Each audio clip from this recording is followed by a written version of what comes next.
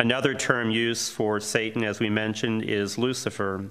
Satan is a morally wicked creature, hostile to both humans and to God. Hi, thanks for tuning in to our daily inspiration. As always, thank you so much everybody for taking the time to be here with us. Well then, this will be another short and quick video on our faith, and this time, I would like to share something from Father Vincent Lampert. And for one, Father Lampert here is explaining, despite all the noise about the devil being so powerful and creating chaos in people's lives, there's one thing that you should always remember, and it's this.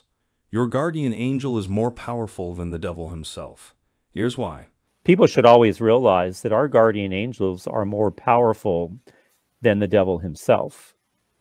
Now, we believe that before the fall, the devil was the greatest of all the angelic creatures closest to the throne of God, Lucifer, meaning light bearer. But after his rebellion, he's cast down with one third of the angels. Mm-hmm. But an angel that fell from a higher ranking is inferior to an angel from a lower ranking who truly was obedient to God. So we think of the nine choirs of angels, you know, the the seraphim, the cherubim, the thrones, the virtues, the dominations, the powers, the principalities, the archangels, the angels.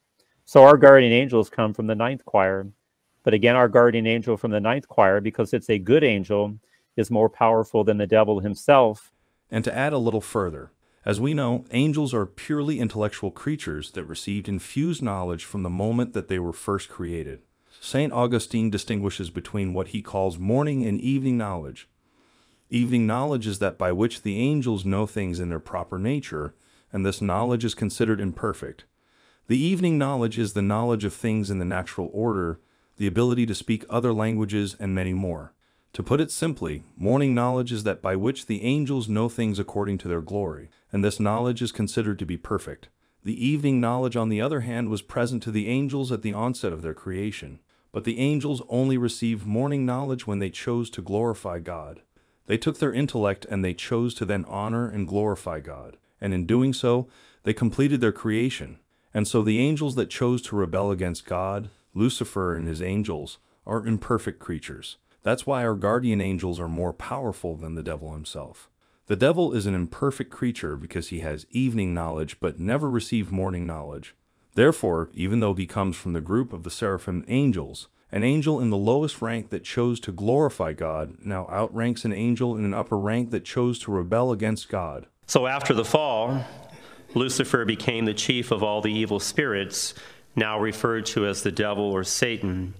The word devil comes from the Greek word diabolos, which means adversary, slanderer, or opposer. It occurs 33 times in the New Testament. The word Satan comes from the Hebrew and means accuser. It occurs 34 times in the New Testament. Another term used for Satan, as we mentioned, is Lucifer. Satan is a morally wicked creature, hostile to both humans and to God. He is not wicked by nature, but because of vice. He's also known as the enemy, the adversary. Depending on the form his malice takes, he is described as a liar and the father of lies, and a murderer from the beginning, since his lying led humanity into sin and death. Well, then, that will be all for the video this time. I hope you've learned a lot from this rather short video. I'll try to make it as compact as I can so that it will be easier for all of you to digest and learn from. Anyway, until the next time, stay safe, stay healthy, and may God bless you.